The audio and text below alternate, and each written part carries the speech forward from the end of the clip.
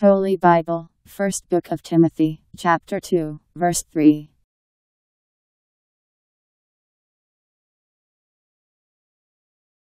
This is good and pleasing in the eyes of God our Savior.